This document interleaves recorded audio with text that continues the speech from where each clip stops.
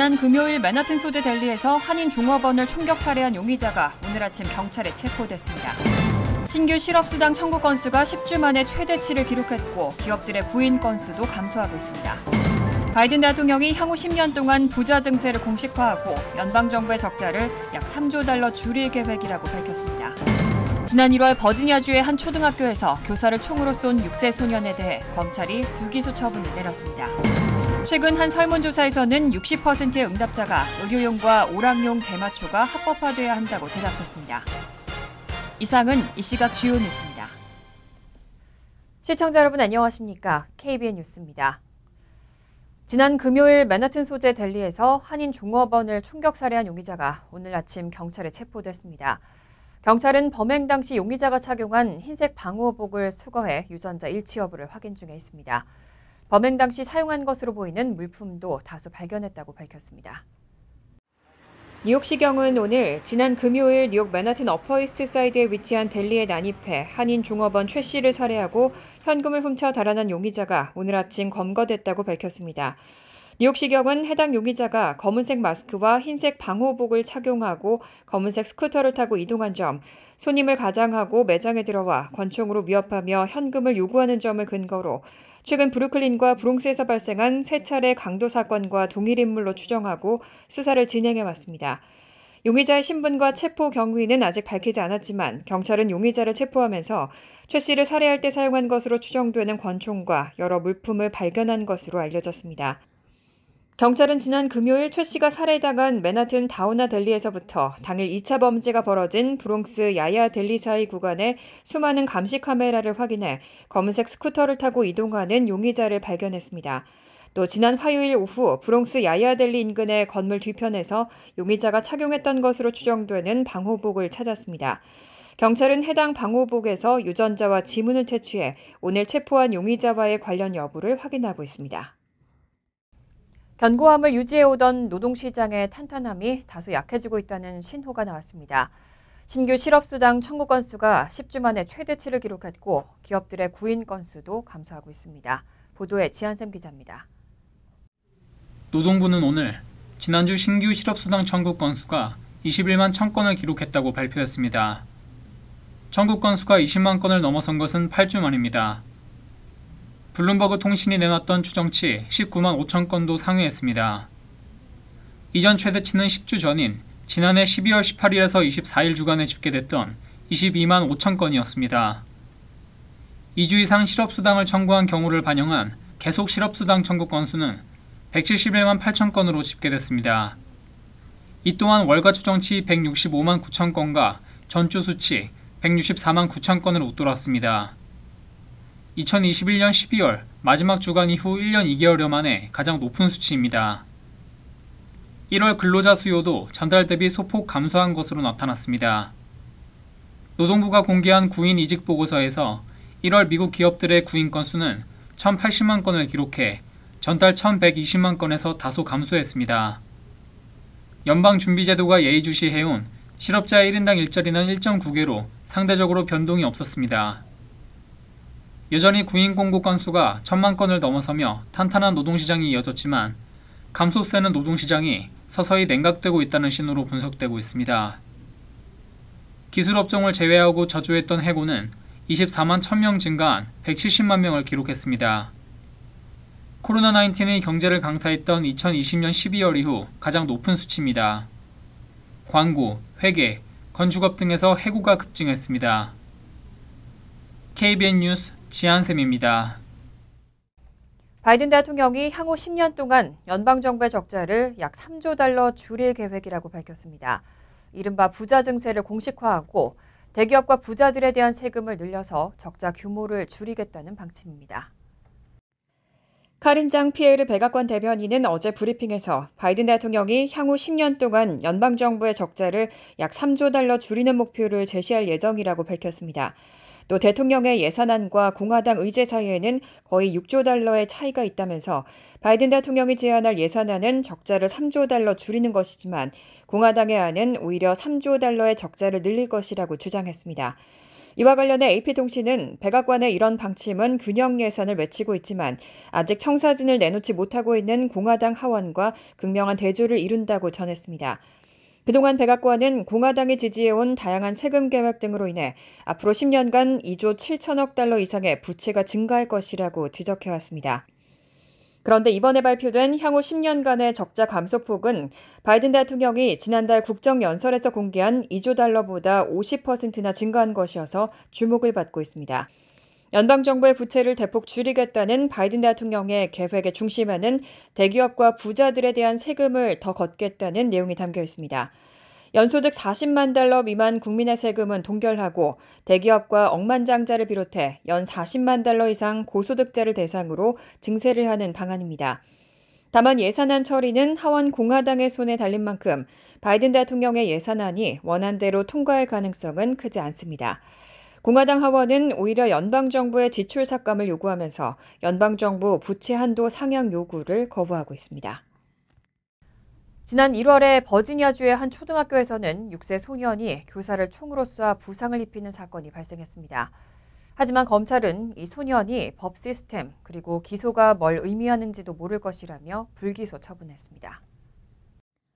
오늘 NBC 뉴스에 출연한 하워드 그윈 연방검사는 6세 아이가 재판을 받는 것에는 문제가 있고 법 시스템과 기소가 무엇을 의미하는지도 모를 것이라며 소년을 불기소 처분한 이유를 설명했습니다.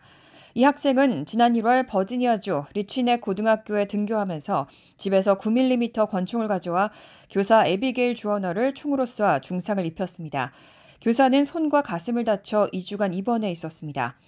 워싱턴 포스트에 따르면 검찰의 불기소 처분은 유아 보호 관습법에 따른 결정입니다. 만 6세 아이가 체포되는 건 전례 없는 일은 아니고 버지니아 법에 따르면 만 6세 아이도 형사 고발될 수 있습니다. 다만 유아 보호관세법은 만 7세 이하의 유아는 범죄 의도를 형성할 수 없는 존재로 간주합니다. 워싱턴 포스트는 이로 인해 검찰이 범죄 혐의를 소명하는 데 어려움이 있기 때문에 기소를 포기한 것이라고 설명했습니다. 소녀의 부모는 AP통신과의 인터뷰에서 범죄에 사용된 총은 1.8m가 넘는 선반 위에 숨겨져 있었다고 해명하고 사고 직후 아이가 급성 장애를 갖고 있었다고 주장했습니다. 반면 주원호의 변호사는 이번 사고를 사전에 예방할 수 있었다고 주장했습니다. 학교 직원들은 주원호가 총에 맞기 몇 시간 전부터 소년이 총을 휴대하고 있었다고 신고했지만 세 차례 경고에도 학교 측은 대응하지 않은 것으로 알려졌습니다. 사고가 발생한 뒤 해당 학군의 교육감은 해고됐습니다. 미국 시민들의 절반 이상은 담배 판매를 금지해야 한다는 정책에 찬성하는 것으로 나타났습니다. 다만 대마초와 관련해서는 합법화를 지지한다는 대답이 응답자의 절반을 훨씬 넘었습니다. 더 힐이 보도한 질병통제예방센터의 조사 결과에 따르면 미국 성인의 약 57%는 모든 담배 제품 판매 금지 정책을 지지했습니다. 또 최근 퓨 리서치 센터의 설문조사 결과 약 60%의 설문자들은 의료용과 오락용 대마초가 합법화돼야 한다고 대답했습니다. 반대 비율은 10%에 불과했습니다. 더힐은 이런 결과를 두고 사람들 사이에 담배보다 대마초가 더 안전하다는 여론이 형성되고 있다는 것을 시사한다고 전했습니다. 실제로 암학회인 암행동 네트워크 소속 캐시 켈러웨이는 담배가 대마초보다 암 발병에 더 큰 영향을 끼치고 있다는 수많은 연구 결과를 가지고 있다고 밝혔습니다. 현장 의료진 역시 담배의 유해성에 대해 다양한 의견을 내놓고 있습니다. 공중보건 전문의들은 모든 담배 제품 판매 금지 정책이 통과될 것이라고는 기대하고 있지 않지만 적극적인 반담배 여론을 형성하고 향미가 첨가된 담배 생산을 규제함으로써 담배 중독자들을 줄여나가야 한다고 주장하고 있습니다. 반면 최근 몇 년간 미국 내 대마초에 대한 여론은 눈에 띄게 호전되고 있습니다. 2012년 워싱턴과 콜로라도주를 시작으로 21개 주와 컬럼비아 특별구에서 오락용 대마초가 합법화됐고 37개 주에서 의료용 대마초가 합법화됐습니다. 지난해 12월 29일에는 조건부로 대마초 소매 판매 면허를 보유하고 있는 비영리 단체 하우징웍스가 뉴욕 시내에 첫 오락용 마리화나 판매점을 개점했습니다. 한국의 길거리 음식 떡볶이가 미국에서도 큰 인기를 끌고 있습니다. 뉴욕과 LA 등에서는 떡볶이 전문점도 잇따라 오픈했습니다. 지난 3일 NBC 방송은 대형마트와 온라인 쇼핑몰 등에서 밀키트 형태의 떡볶이 판매량이 급격히 증가했다고 보도했습니다. MBC 방송은 떡볶이의 점령, 미국이 탐닉하는 다음 메뉴는 바로 한국의 궁극적인 추억의 음식이라는 제목의 보도를 통해 한국 길거리 음식 수요가 급증하고 있다고 전했습니다. 매체는 또 한국의 아이돌 그룹 방탄소년단의 지민이 서울의 한 시장에서 떡볶이를 먹는 모습을 SNS에 공개했다면서 이 때문에 미국 내에서도 떡볶이가 인기를 끌게 된 것으로 평가했습니다. 실제로 미국에서는 떡볶이 전문점 등이 급격히 늘고 있습니다. 올해 초 뉴욕에서는 마녀 떡볶이가 두 번째 매장을 오픈했습니다. 이 식당은 일반 떡 이외에도 고구마 떡이나 옥수수 떡 등을 다양한 소스와 함께 내놓는 곳으로 알려져 있습니다. 로스앤젤레스에 분점을 낸 동대문 엽기 떡볶이 역시 현지인들 사이에서 큰 화제입니다. 각종 SNS에서는 K타운 스파이시 챌린지라는 해시태그가 달린 게시물이 올라오고 있습니다. 한국의 매운 떡볶이를 먹는데 도전하고 이를 공유하는 문화가 확산되고 있는 겁니다. NBC 방송은 이러한 인기가 한국 대중문화의 인기로부터 기인했다고 분석했습니다. 매체는 앞서 봉준호 감독의 영화 기생충에 등장한 짜파게티와 너구리를 조합한 라면 짜파구리의 사례를 예로 들면서 한국의 영화와 예능 프로그램 등의 인기가 한국 음식에 대한 관심을 끌어냈다고 평가했습니다. 미 전역에서 혼인 상태에 있지 않은 독신 여성이 사상 최고 수준인 것으로 조사됐습니다. 지난해 여성의 독신 비율은 52%로 나타났고 결혼 연령도 늦어지고 있습니다. 그런데 남녀 간의 임금 격차는 좀처럼 줄어들지 않으면서 15년째 제자리입니다.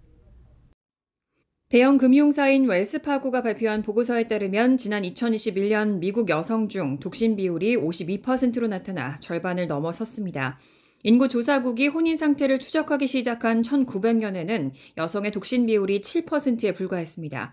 워싱턴 포스트는 지난 10년간 결혼을 한 번도 하지 않은 미혼 여성의 수가 20% 증가했고 이것이 독신 여성 가구가 급증한 주요 원인이라고 보도했습니다. 결혼 연령도 늦어지는 경향을 보이고 있습니다. 2021년 기준 여성의 초혼 연령은 28세로 2001년의 25세보다 3살 높아졌습니다. 여기에는 혼인에 대한 인식과 고용 기준 등 여러 환경 변화가 원인으로 작용한 것으로 분석됩니다. 또 최근 수년간 대학 입학 및 졸업자 수에서 여성은 남성을 앞질렀습니다. 독신 여성이 가장 역할을 맡은 가구의 비율도 전체 26%로 늘어났습니다. 이에 따라 고용시장과 주택거래, 소비 등 경제 여러 분야에서 독신 여성의 비중이 커지고 있습니다. 그런데 이런 상황에도 불구하고 남녀 간 임금 격차는 여전합니다. 웰스파고는 지난해 미혼 여성의 소득이 미혼 남성의 92%에 그쳤다고 전했습니다. 적은 소득이 소비에 영향을 미치면서 독신 여성의 소비액은 2021년 평균 3만 9천 달러로 독신 남성의 4만 1천 달러보다 적었습니다. 이 금융사의 이코노미스트인 세라하우스는 지난 15년간 남녀 임금 격차가 고착 상태에 있다며 독신 여성은 치열한 노동시장에서 공백을 메우고 있지만 소득은 여전히 독신 남성에 못 미친다고 지적했습니다. 현대 기아차가 미국 내 830만 대 차량을 대상으로 도난 방지 소프트웨어를 업그레이드하기로 했습니다. 하지만 유행처럼 번지는 차량 절도 피해를 막기에는 역부족이라는 지적이 잇따르고 있습니다. 7일 NBC 뉴스는 절도 피해가 급증한 현대 기아차가 미국 내 830만 대 차량의 소프트웨어 업그레이드를 진행하기로 했지만 해당 소프트웨어 업그레이드 발표만으로는 미흡하다며 보안 프로그램 강화에 더 신경을 쓰도록 해야 한다고 보도했습니다. 지난달 양사는 키가 없이 시동을 걸 수 없는 장비인 immobilizer가 없는 모델을 노린 차량 절도 증가에 대응하기 위한 조치로 소프트웨어 업데이트가 완료되면 열쇠가 있어야만 시동이 걸리고 도난 시 알람의 길이도 30초에서 1분으로 늘어난다고 설명했습니다. 하지만 전문가들은 키가 없이 시동이 걸리고 주행이 가능한 것 자체가 연방 규정 위반이라며 정상적인 리콜이 이뤄져야 한다고 지적했습니다. 세이프티 리서치 앤 스트레티지스의 션 케인 대표는 소프트웨어 업그레이드가 공식적인 안전 리콜이 아닌 단순히 고객 만족 캠페인일 뿐이라고 말했습니다. 또 자동차 안전센터의 마이클 브룩스는 해당 조처가 리콜 같은 의무가 아니기 때문에 현대 기아차는 문제의 차량 소유주에게 알릴 의무가 없다고 일갈했습니다. 이에 대해 현대 기아차는 NBC 측에 법적으로 차량 안전 기준을 지켰고 차량 절도 방지 장치에도 문제점은 없다고 밝혔습니다. 이런 가운데 양사에 대한 소송과 조사 압박은 심해지고 있습니다. 클리블랜드 시는 7일 양사를 상대로 한 소장을 가주 연방법원에 제출했습니다. 또 미네소타주 검찰총장은 이날 현대 기아차가 소비자 보호 주 규정을 위반했는지와 일명 민폐법으로 고소가 가능한지 여부를 조사한다고 밝혔습니다. 뉴요커들의 팁 인심이 미 전역 45위에 랭크됐습니다. 뉴요커들이 식당에서 지불하는 팁은 평균 18.7% 수준으로 50개 주 평균 19%에 못 미쳤습니다. 미 전역에 있는 식당들을 대상으로 영업과 운영 시스템 서비스를 제공하고 있는 토스트가 발표한 자료에 따르면 지난 2022년 10월부터 12월까지 4분기 3개월 동안 뉴욕주에 있는 식당에서 고객들이 지불한 팁은 결제액의 18.7%인 것으로 집계됐습니다. 일반적으로 음식점 팁이 15%부터 30% 정도라는 것을 감안했을 때 중간보다 다소 낮은 수준의 팁을 줬다는 의미입니다. 또 전국 50개 주 평균인 19%보다 낮은 것으로 순위로는 최하위권인 45위였습니다.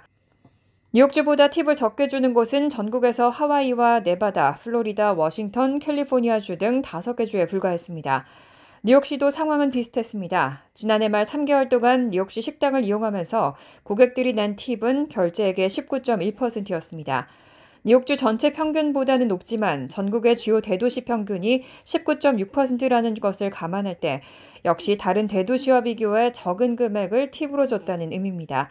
팁 인심이 가장 좋은 대도시는 클리블랜드로 결제액의 20.6%를 팁으로 줬습니다. 한편 뉴요커들은 식당에서 식사를 할 때도 팁을 적게 주는 편이지만 테이크아웃을 하거나 배달을 시킬 때도 결제액의 13.3%를 준 것으로 조사돼 전국 평균인 14.3%에 미치지 못했습니다. 또 특기할 사항은 지난해 4분기와 1년 전인 2021년 4분기를 비교할 때 전국적으로 식당을 이용하는 고객들이 낸 팁은 0.2% 줄었습니다. 정확한 원인이 무엇인지에 대한 분석은 나오지 않았지만 인플레이션과 음식, 주류 가격 인상 등이 영향을 미쳤을 거란 추정입니다. 간추린 소식입니다. 뉴욕시가 망명 신청 이민자 문제를 전담하게 될 망명 신청자 운영국을 신설했습니다. 또 연중부 후 24시간 도착센터를 설치해 망명 신청자들의 뉴욕 도착을 지원합니다. 에르게담스 시장은 지난 7일 신설되는 기관들은 망명 신청자들의 재정착과 법률 서비스 지원 및 취업 허가를 기다리는 망명 신청자들의 직업 훈련을 지원하는 한편 숙소 제공을 위해 써니 설리반과의 파트너십 프로그램도 실시한다고 발표했습니다. 지난 2일 퀸즈 코로나 정션 블러바드와 루즈벨트 에비뉴 교차로 인근에서는 길을 걷던 아시안 여성과 그의 아들에게 3인조 일당이 ugly Asian이라는 인종 혐오 욕설과 함께 물을 뿌리고 차에서 내려 폭행을 가한 후 도주한 바 있습니다.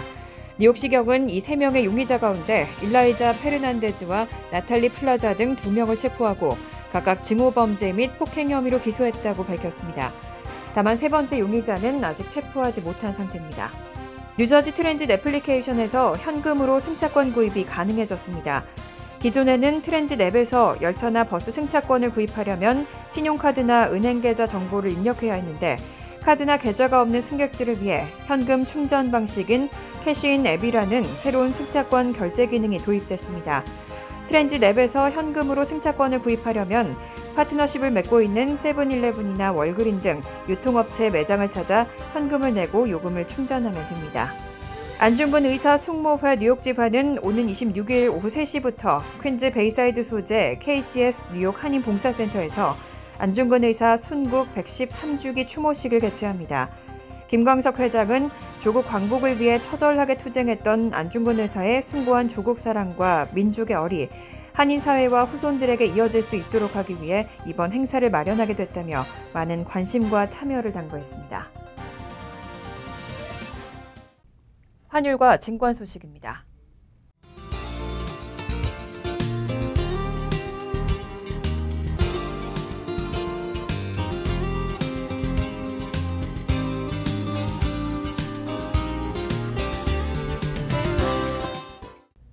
이어서 날씨입니다.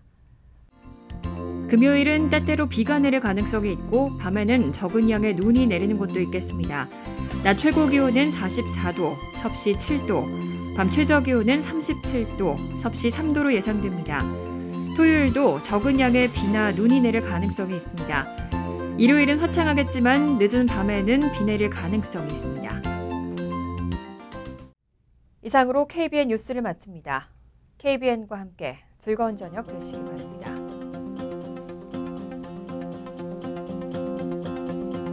미 동부 최대 한인 방송 KBN이 제작하는 KBN 뉴스는 웹사이트 mykbn.com 그리고 유튜브와 페이스북에서 다시 보실 수 있습니다. 좋아요, 구독, 알림 설정은 뉴스 제작에 큰 도움이 됩니다.